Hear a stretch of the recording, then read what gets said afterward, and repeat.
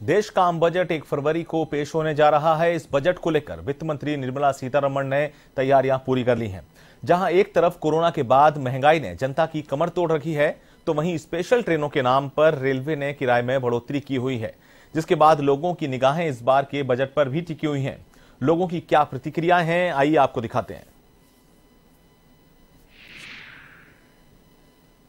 Excited और हम चाहते भी हैं कि इस बार एक एक ऐसा बजट हो जिससे हम लोगों को थोड़ा सा प्रॉफिट हो बिकॉज़ अब लास्ट ईयर तो आपको पता है पूरा फाइनेंशियल ईयर हम लोगों का ऐसे ही चला गया, बहुत से लॉसेज हुए हैं, बहुत से जॉबलेस हुए हैं।